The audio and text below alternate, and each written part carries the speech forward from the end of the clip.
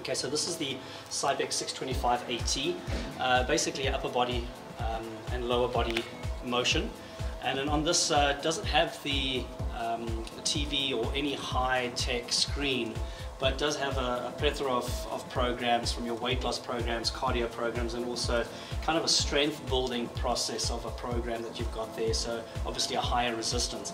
But this screen is, uh, this, this particular unit is basically all about um, your resistance and elevation with no technical TVs or anything. It's high. Now you can add a TV to this, um, but basically this is a very favorable one that you'll find in a lot of health clubs across across the US.